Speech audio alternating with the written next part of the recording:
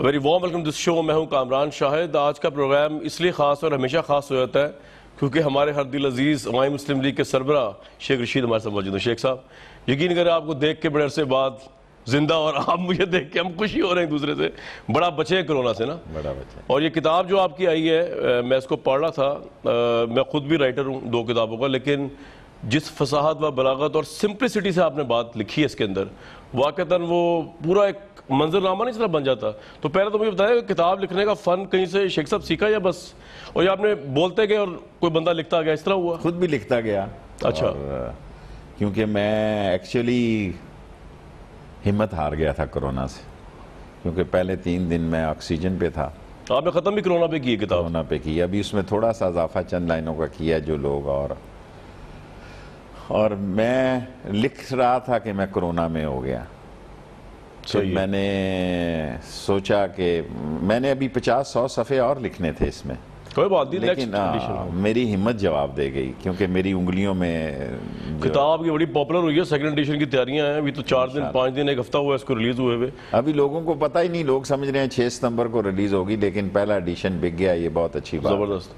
शेख साहब मैं वैसे भी आपकी बड़ी इज़्ज़त करता था क्योंकि आपकी पोलिटिकल जो वो है किताब पढ़ के मैं और आपकी इज़्ज़त कर रहा हूँ क्योंकि आपने जेलें भी काटी, आपने स्ट्रगल भी की और आपको अल्लाह ने बड़ी इज़्ज़त दी।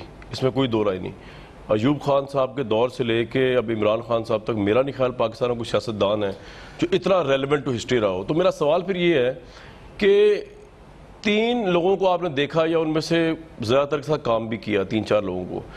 आपने नवाज़ शरीफ साहब के साथ काम किया, आपने मुशरफ साहब के साथ काम किया भाई इमरान खान साहब के साथ काम कर रहे हैं। अगर मैं तीनों का आपसे लीडरशिप में मवाजना करवाऊँ तो आपका एनालिसिस क्या होगा? देखें लीडर तो इनमें दोनों ही थे मुशर्रफ और इमरान खान। नवाज़ शरीफ लीडर नहीं था न लीडर है लेकिन एक बिज़नेस ओरिएंटेड पॉलिटिशियन जो है वो इस माशरे में इंट्रोड्यूस कराया गया या हुआ या जो भी हमारे मुल्क का प्रोसेस है वो उससे लोगों की आदात जो हैं उसने लोगों की आदात को बेहतर तौर पर इस्तेमाल किया और वो इस मुल्क की सियासत में इन हो गया। तमाम सियासतदान पाकिस्तान के जी एच क्यू के गेट नंबर चार की पैदावार है। तमाम सियासतदान दो तीन सियासतदान हैं। हमने भी फौज का साथ दिया है और हमें इस पे फख्र भी है। हम ये नहीं कि शर्मिंदा लोगों की तरह लोग आप तो खुल्लम खुला में मुनाफ्त नहीं उस तरह की। मैंने नोट किया है। बाजवा साहब कमर बाजवा साहब मैं गॉर्डन कॉलेज का किंग था। हालाँकि मैं कॉलेज से फारग था लेकिन बाहर मैं गोडे पे गोडा रख के स्लीपर उतार के हॉस्टल से नीचे उतरते थे। तो ये उस वक्त इस्लामी जमीयत तलबा के नाजम बाजवा साहब अच्छा। गॉर्डन कॉलेज में। अच्छा। तो क्या ताल्लुकात थे आपके दोनों के आपस में? मेरे तल्लकात तो हम्म, फौज में कभी बुरे ही नहीं रहे। नहीं बाजवा साहब से उस जमाने में? उस जमाने में तो मैं आपको पता मुझे तो नहीं पता था। ये इसी तरह मुशरफ से साहब से मैंने कहा कि एक बंदे से मेरी सुलह करा दें वो मेरे साथ। मैं उनके पास गया मैंने कहा जी आप मुझसे क्यों खफा हैं? वो फौज का बहुत बड़ा सरबरा था। अच्छा। उसने कहा जब तू गार्डन कॉलेज में था ना तूने मेरे साथ मैं कहा हजूर मुझे क्या पता? गॉर्डन कॉलेज में तुम आदमी चीफ बन जाओगे या चीफ बन जाओगे? नहीं बाजवा साहब जमीयत वैसे भी आपको पता है एक तलबा की नरम दिल जमात होती है। सही है। और लेकिन आप उस उस जमाने में लैक्स से की जान पहचान नहीं थी? नहीं लैक्स लैक बाद में हुई। अच्छा। हाँ मैं ऐसी ही बात कहूँ कि लैक्स लैक हुई लेकिन अभी उन्होंने मुझे एक दिन कहा कि गार्डन कॉलेज इकट्ठे चलना है। अच्छा। अपनी यादें ताज़ा करनी है मैंने कहा ठीक है। बाजवा साहब को कैसा पाया आपने as a statesman as as a leader अपनी मैं में? ये नहीं कहता कि भी मैंने मुशर्रफ के साथ भी काम किया है जयाल के साथ काम नहीं किया बहुत सारे आर्मी चीफ देखे हैं बहुत मेहनती आदमी है बाजवा साहब। मेरे तो वैसे ही मैं उनका अब देखे ना मुझे आप क्या कहें? मैं मुझे उन्होंने ख़रीदा है कि जिस बीमारी में मुझे वो लेके गए हैं मैच में मुझे तो टीका नहीं मिल रहा था। हम्म, आपने मुझे बताया इंटरव्यू में कि है आपको नहीं मिल रहा था। देखें मैं पाकिस्तान का वो वायद सियासी वर्कर हूँ जिसने चौदह मिनिस्ट्रियों को हेड किया है। बेशक। अब आप रुलाने वाली मुझे बात करें। अगर मुझे इस मुल्क में टीका नहीं मिला तो गरीब के साथ क्या हुआ होगा? सही बात हर हमारी इतनी गिरावट हो चुकी है हमारा माशरा इतना ज़मीन बोस हो चुका है कि पैसा माँ है पैसा बाप है पैसा ज़िंदगी है पैसा सियासत है। जो चीज़ आप खरीदना चाहें जो चीज़ आपकी मौत भी सामने हो ना तो ये पैसे को हाथ डालते हैं मौत से जान नहीं छुड़ाते। ये मुझे इस कोरोना से सबक मिला है कि ज़िंदगी का वो पहलू और वो टाइम जब इंसान जो है मौत के मुँह में भी हो लोग उस वक्त भी पैसे नहीं छोड़ते। शेख साहब की मैं किताब पढ़ रहा था आपकी सारी स्ट्रगल जो थी अवाम के लिए ख़ासतौर पर लाल वैली पिंडी के लिए आप कह रहे हैं आपने किताब में आपने कि जी आपने जब चेंज भी किया अपने आप को आपने अवाम के लिए किया नवाज़ शरीफ साहब बाहर चले गए थे आपने उनको रिप्रेजेंट किया। लेकिन आज भी आप मिनिस्टर हैं और अवाम जो है वो हर सस्ती चीज़ के लिए तरस रही है। सही बात है। तो इस पे आप प्राइम मिनिस्टर के एक्चुअली बात यह है कि हम लोगों को सही तौर पर एक्सप्लेन नहीं कर सके कि ये सारी महँगाई हमें वो जहेज में दे के गए हैं। हमारे बावजूद इसके कि हमें टीवी पे पूरा टाइम मिलता है। लेकिन हम माशरे को ये यकीन नहीं दिला सके कि वही लोग हैं जिसकी वजह से आज चीनी महँगी हुई है आज आटा महँगा हुआ है पाकिस्तान की इकानमी अब लोगों को यही नहीं पता कि भाई डिफ़ॉल्ट होना क्या होता है। लोगों को तो चाहिए कि उनको कि पाकिस्तान जो है माशी तौर पर जो लोग ज़िंदा किसी ने ताजिकिस्तान की आज़ादी की तहरीक नहीं चलाई उज्बेकिस्तान किसी ने नहीं चलाई जब माशी तौर पर रशिया खराब हो गया बैठ गया तो वो उसने कहा कि भी जान छुड़ाओ इनसे। सही। सो पाकिस्तान में जो दो हुकूमतें गुजरी हैं उन्होंने जी भर के लूटा। और उसके असर हमें पे करना पड़ रहे हैं। लेकिन इस साल में इन ताला मुझे उम्मीद है कि हम बेहतरी की तरफ़ जाएँगे बुरे वक्त और हालात से हम निकल आए अगर इस साल भी हमने लोगों को मुतमिन ना किया तो हमारे लिए मसाइल पैदा होंगे। पिछली दफ़ा भी आप पे मैंने बड़ा सख्त इंटरव्यू में बातें की थी और जिसकी मुझे बहुत सारे लोगों की नाराज़गी सहनी पड़ी।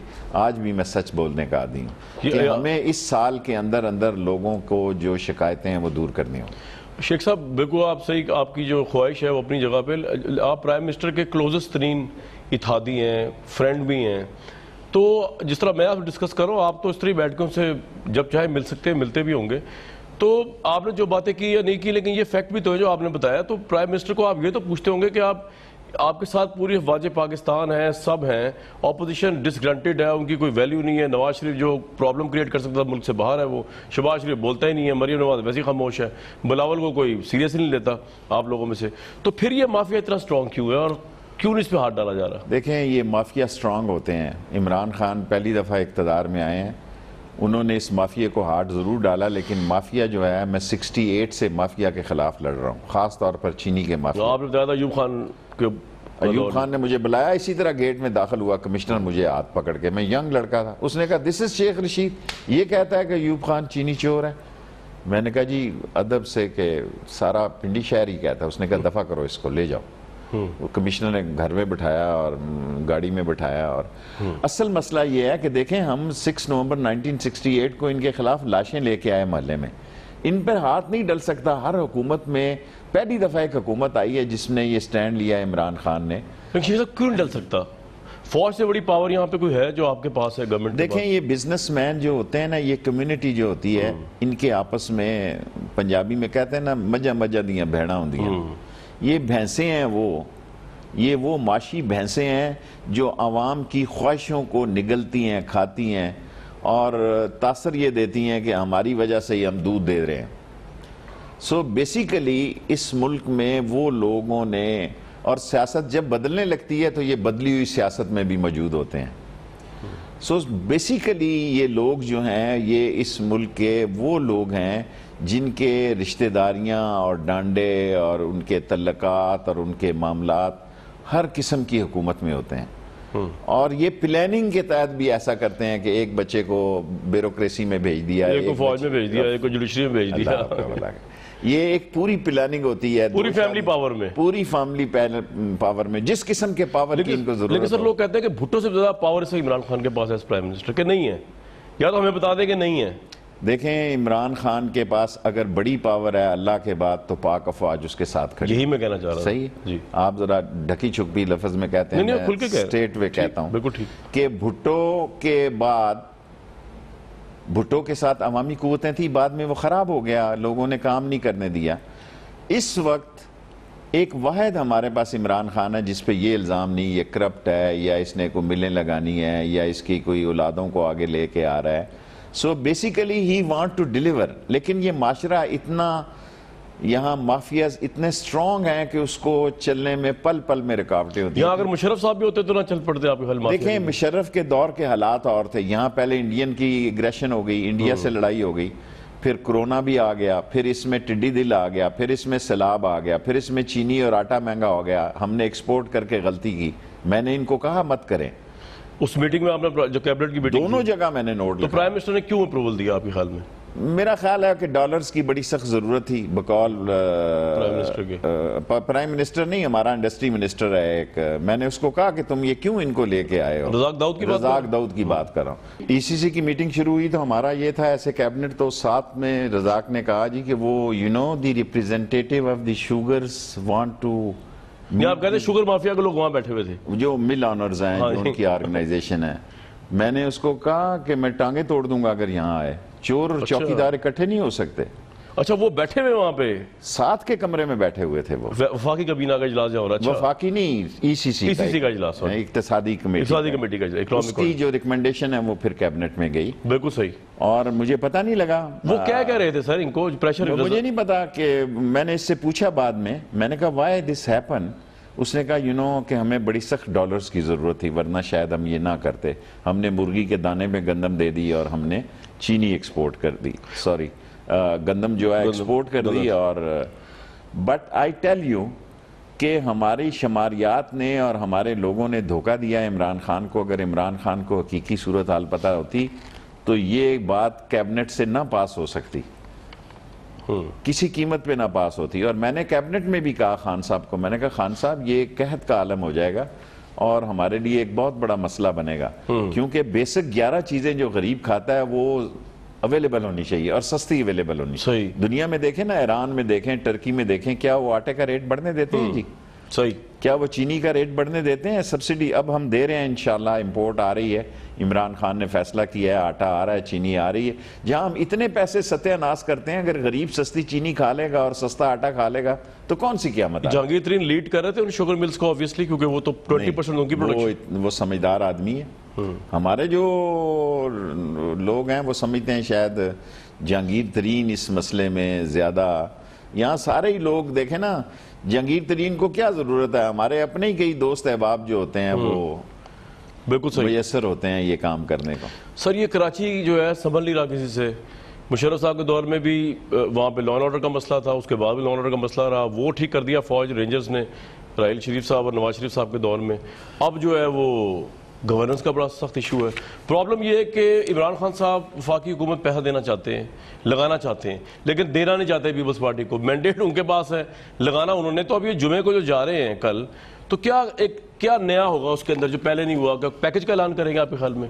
अगर दोनों पार्टियाँ पीपल्स पार्टी और तहरीक इंसाफ एक पेज पे आ गई और कुछ लोग इस पे काम कर रहे हैं और अच्छा। वो ऐसे लोग आ गए जो कि ट्रस्ट वर्दी हों और जिनकी दाग ना हो जिनकी शर्ट पे करप्शन के सही। तो फिर इमरान खान वहाँ पैकेज देंगे और इस पैकेज पे अमल होगा क्योंकि पाक फौज इसके पीछे खड़ी है। अच्छा पाक फौज का क्या रोल है सारे इसके सिर्फ़ ये कि मेरा मतलब है कराची के हालात बेहतर हों उनका क्या रोल होना? उनकी एक ही ख्वाहिश है कि कराची जो है हमारी इकानमी की शारग है वो शारग जो है बंद ना हो। लोगों में शेख साहब लेकिन पीपल्स पार्टी के नॉन करप्ट या जो सही लोग हैं आपके नज़दीक उन उनको और इमरान खान को बीच में लाने में फौज को रोल अदा कर रही है? ये बहुत टेक्निकली फिर मुझे घेर रहे हैं आप। मैं ये कह रहा हूँ कि कराची के हालात बेहतर बनाने के लिए फ़ौज काम कर रही है और इमरान खान की ये ख्वाहिश है कि एक ऐसा बंदा दोनों सूबा और मरकज़ उस पर एग्री हो जाए तो इमरान खान पैकेज लेकिन शेख साहब इशू ये ना कि वो तो बहुत ही करप्ट समझते हैं पीपल्स पार्टी के रजीम को इमरान साहब। ज़रूरी तो नहीं कि पीपल्स पार्टी का हो एक ना पीपल्स अच्छा। पार्टी का हो ना तारीख इंसाफ का हो पाकिस्तान का हो। एनसीओसी कोई कोई चीज़ ऐसी चीज़ हो जो उसको इम्प्लीमेंट कर दे और कराची के हालात ठीक हो जाए। और कराची के हालात ठीक होने के करीब हैं। ये आप इतने अच्छी बात है लेकिन इतने पॉजिटिव क्यों है? ताकि लोग जानना चाहेंगे ना कि कराची जो संभल नहीं रहा किसी से ख्वा बारिश है ख्वा गवर्नेंस है ख्वा नदी नाले हैं वहाँ पे। आप इतने ऑप्टिमिस्टिक क्यों हैं? पॉजिटिव पाकिस्तान में जो भी सूरत हाल हुई है हमारी रीढ़ की हड्डी फौज है। जिस। काम में उन्होंने हाथ डाला है उसको पाया तकमील तक बचाया है। हमारे पास न टिड्डी दिल को मारने वाले जहाज़ थे ना हमारे पास कोरोना से हैंडलिंग थी इलाकों को स्मार्ट लॉकडाउन किया गया। ये पाकिस्तान ने दुनिया में वाहिद मुल्क है जिसने स्मार्ट लॉकडाउन मुतारफ कराया और ये फौज के बगैर मुमकिन नहीं था। ये आइडिया भी फौज का था? यकीनन वो शामिल थी मरकजी हुकूमत की सपोर्ट में। सो उससे ये हुआ कि हमने बीमारी को उस इलाके तक महदूद रखा और ईद के दिन दुकानें खुली पाकिस्तान सर ये आपकी बात ठीक है। कराची में थोड़ा मैं बता रहा शेख साहब कराची में क्या करने जा रहे हैं प्राइम मिनिस्टर प्राइम मिनिस्टर घर से तो जा रहे हैं पैकेज अनाउंस करने। वो एक सौ बासठ अरब वाला या कोई और है ये? ये नया पैकेज है। उससे ज़्यादा या उससे कम? ये नहीं मुझे पता। अच्छा। लेकिन पैसों का पैकेज है। पैसों का पैकेज है ऑफ़ कोर्स सो दोनों पार्टियाँ देखें ना बिल आखिर हम आईजी पे भी तो मुतफिक हुए ना जी। सही है। हमने आईजी को भेजा वहाँ हमारे रेलवे के आईजी थे वो वहाँ गए। सो इसी तरह अगर दोनों पार्टियाँ एक अदारे पे एक शख्सियत पे एक पैटर्न पे राज़ी हो जाती हैं ठीक है। तो फिल फॉर पैसे रिलीज़ होंगे और वो पैटर्न शेख साहब आप कह रहे हैं कि हो सकता है ना पीपल्स पार्टी का और तहरीक इंसाफ को मुमकिनात में से है। ये कल ये ना हो कि भाई हमें पीपल्स पार्टी का ही को पसंद आ जाए जो सही है। नहीं पीपल्स पार्टी का मुश्किल है आपको पसंद है हाँ मुश्किल आपको तो पसंद मुझे पता है जो पसंद है लेकिन वैसे पसंद आना मुश्किल है। इमरान खान साहब को पसंद आना मुश्किल है। देखें सब लोगों की ये राय होगी कि एक इंडिपेंडेंट आदमी जो ऑनेस्ट डेडिकेटेड और डिलीवरी जिस जिसमें सर वो तो फिर फौज या एनसीओसी के अलावा कोई नहीं हो सकता। नहीं नहीं नहीं निकलेंगे लोग। अच्छा। निकलेंगे। गवर्नर का रोल भी नहीं हो सकता इसके अंदर। नहीं। तो ये इस जुमे को ये फैसला हो जाएगा कि वो तीसरा आदमी या तीसरी पार्टी या जुमे को या इस हफ़्ते के अंदर। ये फैसला हो जाएगा। इंशाल्लाह। और ये क्या मुराद अली शाह या पीपल्स पार्टी को ये कन्वे किया आपने? ये बात जो आप मुझे बता रहे हैं कि ये चले ऑलरेडी कन्वे है। और वो उनका क्या अच्छा पॉलिटिकल अच्छा आर्मी चीफ वैसे भी आपको पता कराची हो उनको कन्वे हुआ। और वो एग्री है इस बात से मुझे ये नहीं पता कि अभी दोनों पार्टियाँ मिल बैठ के किस शख्स किस शख्सियत पे एग्री होती हैं। सही है। अल्टीमेटली पाकिस्तान का इसी में फ़ायदा है कि दोनों पार्टियाँ किसी इंडिपेंडेंट आदमी पे एग्री हो जाए। मेरा तो ख्याल सर एनसीओसी का कोई रोल होगा उसके अंदर देखें, सभी। देखें वो जो है। तो उसमें आपको लगता है कि फिर कराची का जो है हालात दो तीन साल में चेंज हो जाएँगे? कराची में हालात चेंज हो जाएँगे। कराची में अब लॉ एंड ऑर्डर का इतना बड़ा मसला नहीं है। वो इंटरनेशनल टेररिस्ट वहाँ अटैक करने की पोजीशन में होते हैं। लेकिन कराची जिस वक्त सुकून होता है तो सारे मुल्क में सुकून ऑब्वियसली कमर्शियल कराची डिस्टर्ब होता है तो सारा मुल्क डिस्टर्ब होता है। और कराची पाकिस्तान की सियासत में चार पाँच साल आगे होता है।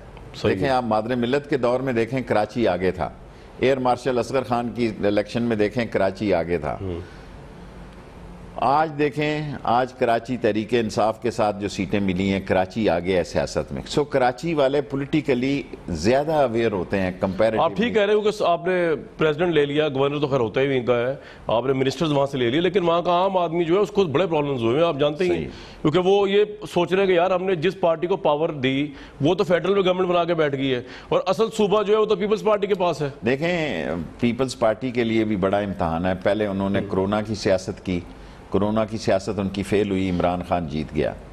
फिर अब उन्होंने सैलाब की सियासत की। सैलाब की सियासत में उनको बहुत बुरा मीडिया मिला। उनको जिस जगह कैमरा लेके गए लोग चीख रहे थे चिल्ला रहे थे। क्यामत का आलम था।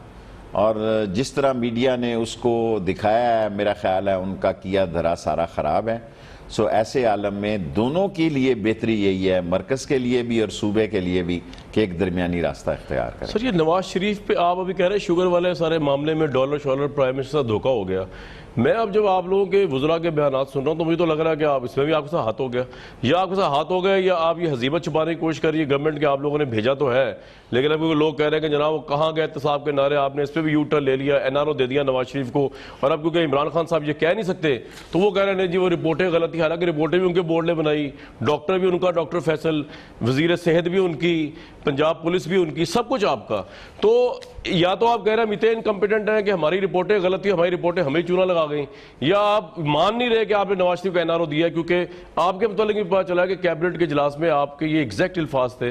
आप जब ये फैसला हो रहा था कि नवाज़ शरीफ को बाहर भेजा नहीं तो प्राइम मिनिस्टर को आपने कहा कि अगर ये, इनको यहाँ कुछ होगा तो एक और भुट्टो पैदा हो जाएगा। ये मैंने ये नहीं कहा भुट्टो पैदा हो जाएगा, इस खानदान में भुट्टो नहीं पैदा हो सकता। समझे ना, भुट्टो के खानदान पैदा होने के लिए ज़्यादा कुर्बानी देनी पड़ती है। ये इस तरह नहीं होता कि, ये इस तरह नहीं भुट्टो पैदा होता। कहना आसान होता है, करना बड़ा मुश्किल होता है। मैंने ये बात ज़रूर की कि इसको जाने दो। बला टले। तो फिर अब शोर क्यों हुए जब आप लोगों ने जाने दिया? देखें मैं मेरी अपनी वोट देखें कैबिनेट डिवाइड होगी। अक्सरियत उन लोगों की थी जो कह रहे थे कि नहीं जाने दें इसको। अच्छा।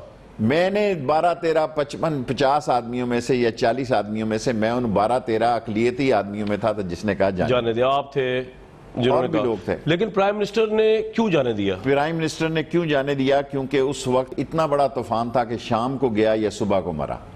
और रिपोर्ट आपकी गवर्नमेंट करा रही थी पंजाब की। इसका मतलब आपकी पंजाब की गवर्नमेंट साथ मिली नहीं थी? मैं नहीं कहता। मैं ये नहीं कहता। ठीक। तो ये हुआ कि जी सारा माहौल बन गया प्राइम मिनिस्टर जाने दिया। अब सर वापस क्यों बुला रहे हैं जबकि आपको पता है अब कि तो कोर्ट बुला रही है।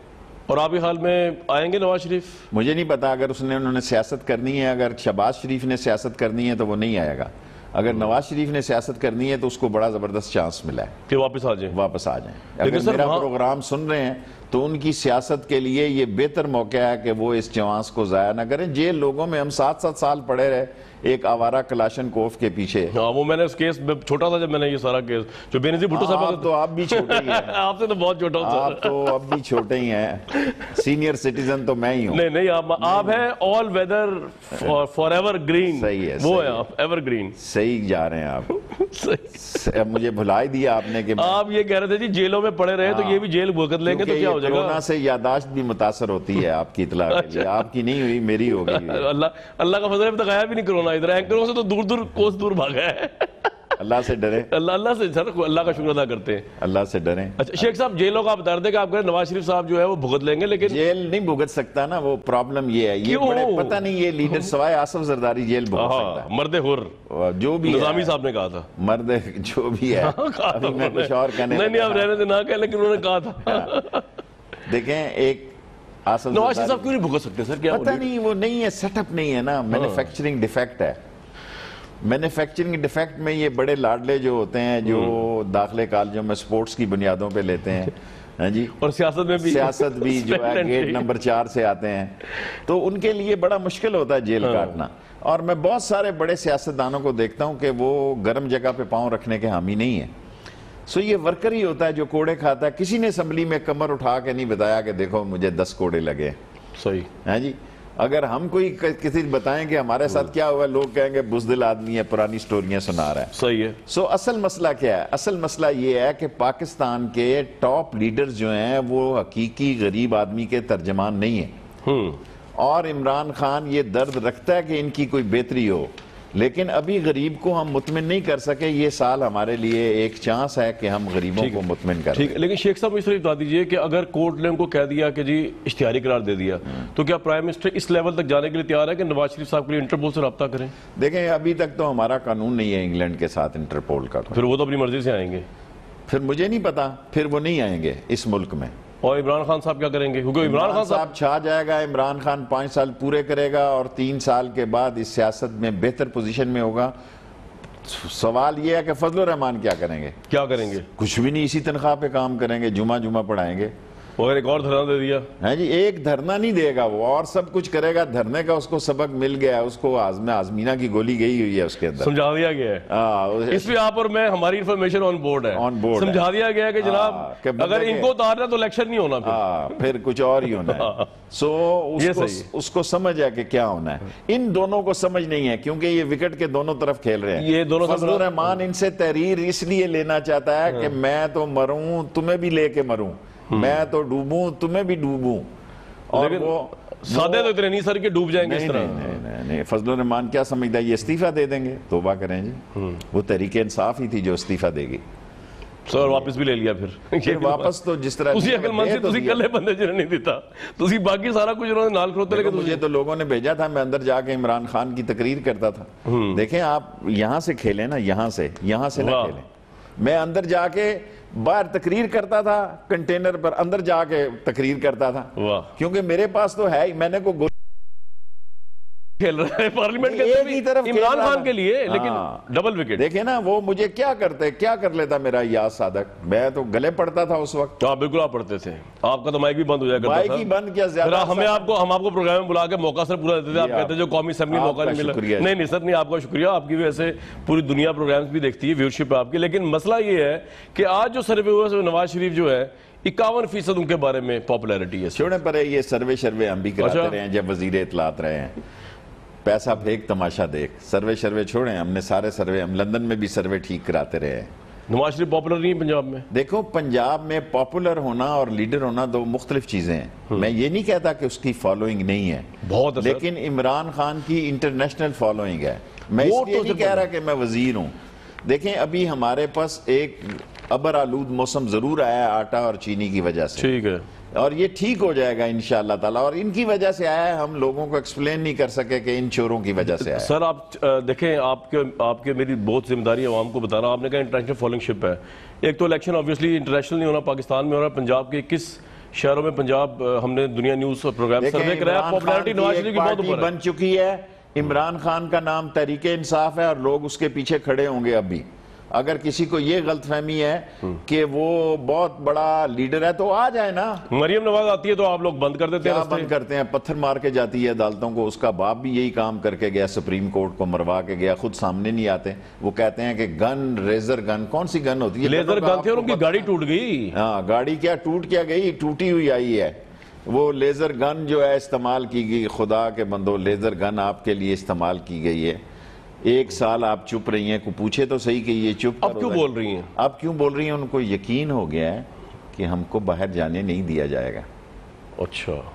ये इसलिए बोल रहे हैं। उनको समझ आ गई है कि वो जो लोग मजाकराती कमेटी थी उन्होंने हाथ उठा लिए हैं। जब वो आती है वो तो हज़ारों का क्राउड होता है। कहाँ हज़ारों का करो बारह कऊ में तो उन्होंने मैं भी उसी जगह का रहने वाला हूँ। पिंडी बारा को इस्लामाबाद मरी मेरा इलाका है। Hardly few hundred two hundred three hundred मेरा मतलब है मुझे पता है कि ये मरियम नवाज़ बेनजीर का ऑल्टरनेटिव नहीं है अपनी पार्टी के लिए। पीपल्स पार्टी बेनज़ीर एक पढ़ी लिखी औरत थी और उसका वालिद एक बड़ा लीडर था और मैं ये नहीं कहता कि हमारी कभी पीपल्स पार्टी से बनी नहीं नहीं आगे भी कभी बनेगी। लेकिन बेनज़ीर को आप मरीम नवाज़ शरीफ की तबाही का बायस भी मरीम बनी इकतदार से उतरवाने का। और अब भी जो शबाज शरीफ गुथियाँ सुलझाता है उसको दोबारा उलझा देती है वो प्रो देती है दोबारा। लीड तो मरियम नवाज़ नहीं करना नून पता नहीं आप दूसरा कहना चाहें मैं तो नहीं समझ रहा जी। मैं तो समझता हूँ शबाज शरीफ करेगा। सर बेनजीर के बारे में भी लोग ये कहते थे। हो सकता है। एटीज के अंदर आपको याद होगा। नहीं वो आपको बेहतर याद है मैं आपको जानता हूँ कि आपको याद है नाइन्टीज में एटीज में और बेनजीर जिस तरह आई एटी सिक्स में। मैं कंपैरिजन नहीं कर रहा वो बहुत बड़ी लीडर थी इसमें कोई दो राय नहीं है। शेख साहब इंटरनेशनल फॉलोइंगशिप आपने बात की बड़ी ज़बरदस्त बात है। आपकी अपनी भी मैं देखा था आपकी बड़ी जिस तरह आपने मैनेज करके फिर यूएन से खिताब किया बड़ा तारीखी लम्हा था आपके लिए हुआ है। और आपने किताब का नाम भी उसके ऊपर रखा है। इंटरनेशनल फॉलोइंगशिप हमारी बड़ी ख़राब हुई और फौज ने ठीक की है। सऊदी अरब के मामले को लेकर जिस तरह हम ओआईसी एक नई बनाने चले थे जिस तरह हम उनका ड्रामा इधर ले आए anti Saudi Turk Ertugrul Ghazi तो अब प्राइम मिनिस्टर कुछ चेंजेस लेके आ रहे हैं कुछ कोल्डनेस खत्म हुई है। उनकी मुझे पता है फौज ने बड़े मामला संभाले वहाँ पे भी। मामला ठीक है इमरान खान और फौज एक ही लाइन और लेंथ पे खेल रहे हैं। और सऊदी अरब हमारा भाई है हमारा दोस्त मुल्क है और हम एक आज़ाद मुल्क भी हैं। हम सऊदी अरब के साथ खड़े हैं चीन के साथ भी खड़े हैं। और जहाँ कोई थोड़ी बहुत गलतफहमी है हम दूर कर रहे हैं और दूर हो चुकी इससे ज़्यादा मेरे ख्याल इस पर बहस ना की जाए। ठीक है। तो इससे कोई फ़र्क नहीं पड़ता कि वो कश्मीर में वो क्या रूट ले। अब सऊदी छोड़ें कश्मीरियों का रूट कश्मीरी खुद लेंगे। जी छोड़ दें आप। हम छोड़ दें? अच्छा। नहीं आप छोड़ेंगे कोई रेट दे। जहाँ शुहदा के बाग के बाग भरे हुए हैं जहाँ हर घर में शहीद का एक नाम है। हर माँ के झोली में एक शहीद की जो है वो लाश है। वो क्या कश्मीर के मसले को छोड़ देंगे? आप इंडिया जो है कशीदगी चीन के साथ पैदा करेगा लड़ेगा आपके साथ। ये सारा ड्रामा रचा रहा है अमेरिकन और इसराइली असला लेने के लिए और यूरोपियन असला लेने के लिए। ये ट्रंप के बड़े आगे बने हुए हैं फ्रंट मैन ताकि लेटेस्ट असला उनको आ जाए। और हम जो हैं वो उनके आगे जो हैं गैर तरक्की याफ्ता लोग नज़र आए और वो अपने आप को बड़ा समझें। लेकिन अब देखें जिस तरह चीन ने नेपाल के साथ भूटान के साथ पाकिस्तान ईरान अफ़गानिस्तान और रशिया के साथ मामला बन रहे हैं तो ये खुद ट्रंप के लिए भी कोई अच्छे हालात नहीं है। सो ये चार नवंबर को बेहतर तौर पे पता लग जाएगा कि अमेरिकन पॉलिटिक्स किस तरफ़ जाती है। ठीक है। शेख साहब गुफ्तु जारी एक ब्रेक लेते हैं वापस आते हैं।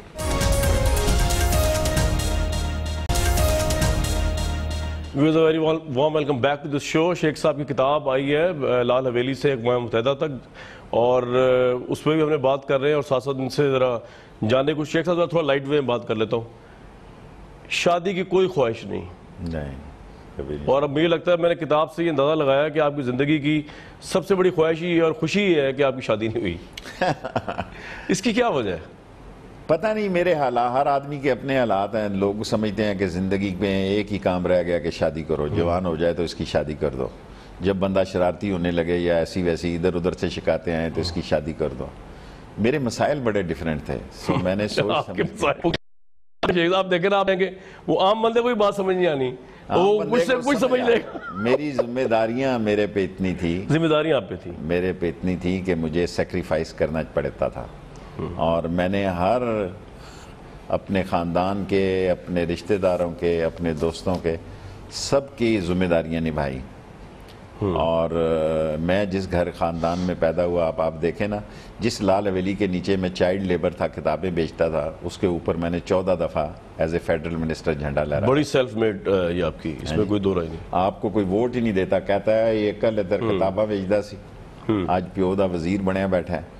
देखिए इस मुल्क में क्या है? इस मुल्क में जद्दोजहद को सलाम सिर्फ़ शेख रशीद को हुआ है। एक भी इस मुल्क में ऐसा बंदा नहीं है जो अपने कमर उठा के बताए कि मेरी कमर को देखो। मैं किस किस मरहल से गुजरा हूँ और यहाँ लोग अपने बाप के नाम पे आते हैं। ये राई है ये जट है ये कश्मीरी है ये चांडियो है ये खरल है ये फलां है। मेरे साथ तो कोई नाम नहीं था जी। जब मैंने कागजात नामजदगी जमा कराए इस किताब में मैंने लिखा मेरे पास जर जमानत के पैसे हाँ लिखा हुआ आपने जी। है जी? सो इस वक्त इस पाकिस्तान में अगर कोई सियासी वर्कर है जिसने ये मकाम अल्लाह ने जिसको दिया वो सिर्फ़ शेख रशीद है। बाकी लोग खानदानी सियासत मेरी ज़िंदगी का सिर्फ़ एक बहुत बड़ा महाज था कि मेरी ख्वाहिश थी काबा के अंदर तो मुझे कई दफ़ा जो लोगों ने कहा मैंने कहा नहीं मैं जाऊँगा अपनी इज़्ज़त में जाऊँगा। काबा के अंदर रोजा रसूल में बहुत दफ़ा गया। लेकिन मैंने ज़िंदगी का प्लान बनाया कि मैं काबा की क्योंकि एक तो काबा शरीफ है जो दाखिल जी, जी। एक उसके अंदर से रास्ता जाता है जो असल जन्नत का दरवाज़ा है।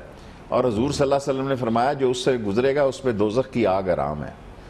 तो मैंने प्लान करके मुशर्रफ के साथ दुनिया में पाकिस्तान में सिर्फ़ चार आदमी उस छत पे गए हैं और छत पे काबा की छत पे नमाज़ पढ़ी है उसमें मैं भी शामिल हूँ। सही। तो ख्वाहिशात आपकी सारी पूरी हो मेरी कोई कभी ख्वाहिश थी प्राइम मिनिस्टर बनूं प्रेसिडेंट बनूं। मैंने अपने से बड़ा काम ही नहीं किया। शेख था मैंने अपनी कैपेसिटी देखी अपनी ताकत देखी अपना अंदाज़ा किया। सो मैंने खाम खा जाती क्या कहते हैं कि पंगे नहीं लिए। कहने कुछ और लगा था कि मैंने जाती पंगे नहीं लिए जिससे नंबर वन से दोस्ती की नंबर वन से दुश्मनी की। किसी 21 ग्रेड 20 ग्रेड वाले से नहीं लड़ा। नंबर वन से दोस्ती की नंबर वन से दुश्मनी की। सारी ज़िंदगी मैंने गरीबों के लिए अपनी आवाज़ को उठाया। अगर मैं गरीबों के लिए कर कुछ नहीं सका, एक अलहदा बात है, लेकिन मैं गरीब की आवाज़ हूँ और ये आवाज़ जो है इन ताला, ये दबेगी नहीं।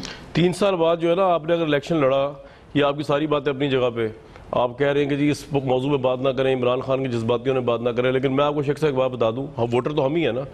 तीन साल बाद यही लाल हवेली होगी यही आपने वोट लेने जाना है ये अगर चीनी ससीरा लोगों ने ये नहीं देखना कि इमरान खान को कितने बड़े माफिया का सामना करना पड़ा था आपको भी वोट नहीं पड़ेगा आप भी साथ खड़े होते। अगर मैंने इलेक्शन लड़ा तो मैं इससे भी क्योंकि मेरे शहर के जितने मसले हैं यूनिवर्सिटी एक बनाई है नाला लई पे इंशाल्लाह काम हो रहा है हॉस्पिटल बनाया लोग भी काम देखते हैं माफ़ करना सिर्फ़ तकरीरों के सारे बंदा नहीं ज़िंदा रह सकता। ठीक है ये लोगों को पता है कि 24 घंटे लाल हवेली जाएँगे दरवाजे खुले हैं। लोग इतने बेवकूफ़ नहीं है। लोगों को जो सादा समझता है वो खुद बहुत बड़ा सादा है। लोगों को पता है कि हमारी आवाज़ है। मैंने कभी बड़े आदमी से वोट नहीं लिया वो नून को ही वोट देते हैं। मेरी आधी शेख बरादरी नून को वोट देती है। मैं डेंटर पेंटर वेल्डर मैकेनिक मोची दर्जी धोबी नाई इनसे वोट माँगता हूँ ये मेरा वोट है। मैं मर भी जाऊँगा तो मेरे साथ कबर में जाएगा और ये आपको कुछ नहीं कहता कि जनाब चीनी शेख साहब गवर्नमेंट कहते हैं कहते हैं मैं उनको समझाने देखे ना असल मसला ही इनका जिनका लेकिन मैं तो यही तो कह रहा हूँ मैं आपसे एक मिनिस्टर की हैसियत से जब मैं कहता हूँ चीनी महँगी ये कोई और कहता है? एक मिनिस्टर की हैसियत ये बड़ी बात है। एक मिनिस्टर की हैसियत से मैं जब ये कहता हूँ कि जनाब आटा नहीं एक्सपोर्ट होना चाहिए चीनी नहीं एक्सपोर्ट होनी चाहिए तो मैं लोगों का हक अदा कर रहा हूँ मैं एक वोट का लीडर हूँ। मैं कोई चालीस वोटों का लीडर नहीं हूँ। ठीक। आपने कहा अगर मैं इलेक्शन में खड़ा हूँ मतलब आप समझ रहे हैं कि अगर ये एमएल वगैरह बन गई तो उसके बाद अगला इलेक्शन होता है? मेरा मेरा तो ख्याल यही है एम एल वन और नाला लई। नाला लई अब मैं इस लाहौर में बैठा हुआ हूँ। नाला लई का प्रोजेक्ट शुरू करें। जो मेरा सात तारीख को सोमवार वाले दिन प्राइम मिनिस्टर ने नाला लई पे मीटिंग बुलाई है।